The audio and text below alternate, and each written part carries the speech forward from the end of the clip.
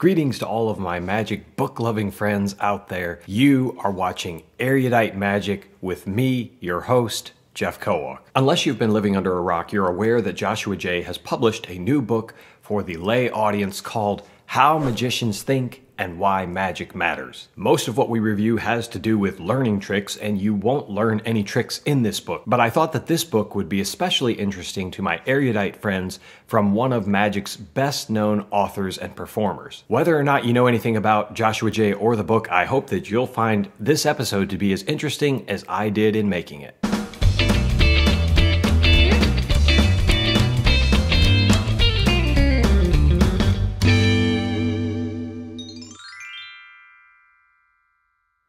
If you don't already know the name Joshua Jay, that's okay. Allow me to make an introduction. Joshua Jay is a young, around 40 ish magician, originally from Canton, Ohio, and now residing in New York City. He is a prolific performer and creator. There are a number of tricks that he has created and marketed, as well as writing a few books on other people's magic and the one that many of us know him for, Magic the Complete Course. He is the co founder of Vanishing Ink. He has performed on Penn and Teller Fool Us and Fooled Them. Spoiler alert. He's performed on The Tonight Show, Late Night. You've probably seen him on TV, on YouTube, or somewhere out there if you've been a magician for any length of time. He's one of the most respected and trusted voices among magicians, and he has written a book to explain to lay people how magicians think. The book is a 300 page hardback with a gorgeous dust jacket as well as equally delightful chapter introductions that are in full color. Some of you already know this, but let me just tell you, I absolutely love the smell of this book. totally reminds me of my childhood with all of that color ink on the paper. It just takes me back many years and automatically made me like the book even more. Each chapter is titled as a question that has ostensibly been posed to Joshua Jay at some point during his career. The chapter that follows is Joshua Jay's answer to that question and was written as he was performing around the world. Sure, some of the questions seem apocryphal, I don't think I've ever been asked some of these questions, but I still think that it makes for an interesting way to present the book with the question and answer format, very similar to what you're seeing in this episode. The author never fully explains, but it seems logical based on the weird internal references that he intended you to be able to open to any chapter that you thought was an interesting question and begin reading. If there's something reading the chapter that catches your eye and has a cross reference, you can go over to that section and read about that question. Josh intended this book for the lay audience or muggles, people who don't already perform magic. Sure, there's some garden variety exposure in the book where Joshua Jay allows them behind the curtain just a little bit to see what's going on with the performer. But it's just enough to energize the initiated and not enough to sate the merely curious. I certainly wasn't worried about anything in the book being exposed to the public. In fact, I think that the book could get someone interested in becoming a magician if they're the person that's on the bubble about magic.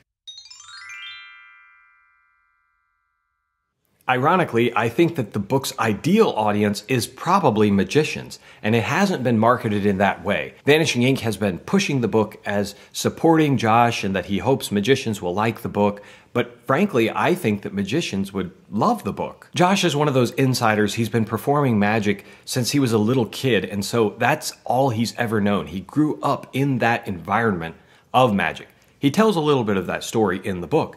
But because of that, he's traveled the world meeting all kinds of performers, spending time with Juan Tamariz in his home in Spain, traveling to Argentina. And throughout the book, you're getting this vicarious feeling of getting to meet some of Magic's greats Penn and Teller, David Copperfield, David Blaine, spending time with people that you know and love as magicians. I think there's a good bit of jargon and obscure characters that a muggle audience won't truly appreciate. There are references in here to the Jerx. You have Mike Caveney coming around the corner at Copperfield's museum. Josh discusses the too perfect theory. All of these things, I think, appeal to magicians to have an erudite discussion and to learn more about magic and its history. Sure, Josh introduces you to who these characters are, but if you already have a little bit of that history, by being in the magic scene, I think you'll get a lot more out of it than someone who's being introduced in a two or three sentence blurb.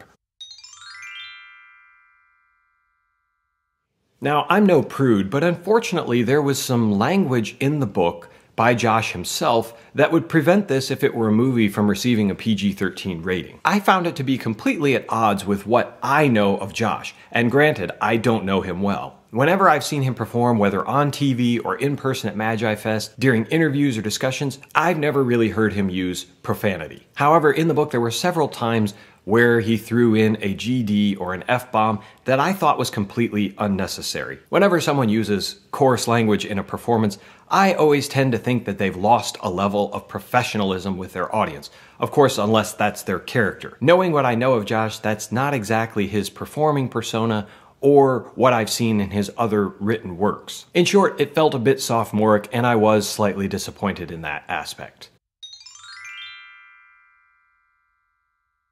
My favorite parts of the book had to do with the creative process that you see from a number of magicians that he deals with. For example, he tells you about Juan Tamariz daily routine for creativity, to say nothing of his own. When you have two magicians of the magnitude of Juan Tamariz and Joshua Jay, you have my attention and I'm taking notes on how I might improve my creativity. Sure, some of the questions I already knew the answers to, but that didn't change that there were details in Josh's inside viewpoint that I've never had as someone who's more on the fringes of the Magic Society.